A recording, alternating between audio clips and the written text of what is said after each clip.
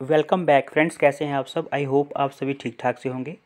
Friends J K S S B के द्वारा जो है, बहुत ही बिग ब्रेकिंग कह लो या फिर बिग अपडेट कह लो निकल के सामने आ रही है कि आपका जो फाइनेंस अकाउंट्स असिस्टेंट का एग्ज़ाम होने वाला है, वो हम सब सोच के बैठे हैं कि जैन के मंथ में ऑनलाइन या फिर कंप्यूटर बेस्ड होगा। बट यहाँ पे जो है, ये जो ऑफिशियल लेटर है, इसको देखने के बाद में आपको पता चल जाएगा कि आपका जो एग्ज़ाम है, वो ऑनलाइन होने वाला है या कि ऑफलाइन कराने की जो प्रपेशन है, वो शुरू की गई है J K S S B के द्वारा। फ्रेंड्स यहाँ पे लिखा है, conduct of based objective type written test examination for various various posts of seating capacity thereof तो यहाँ पे जो लेटर है, उसका रेफरेंस दिया गया है। हालाँकि इसका जो प्रिंट है, वो इतना अच्छा नहीं है बट यहाँ पे ये twenty three November twenty twenty one का लेटर है। ठीक है? तो यहाँ पे लिखा है with reference to the subject cited above in the context, the Jammu and Kashmir Service Selection Board, Jammu by letter number under reference has intimated that they are planning to conduct OMR based objective type written examination for various posts in J&K in the month of December oblique Jan 2022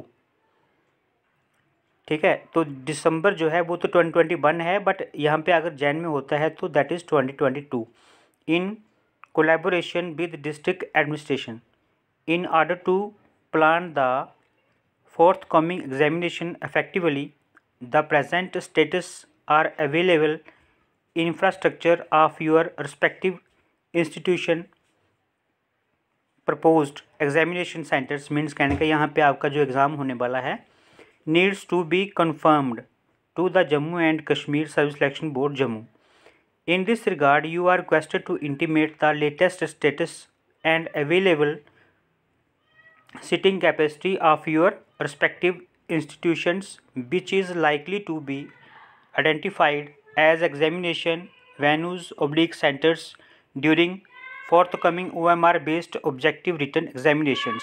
The information must reach this office by return mail or onward submission to the higher authority तो यहाँ पे ये देखिए twenty five November twenty twenty one का ये जो letter है वो साइन हुआ है ठीक है? तो एडिशनल डिस्ट्रिक्ट मजिस्ट्रेट रियासी।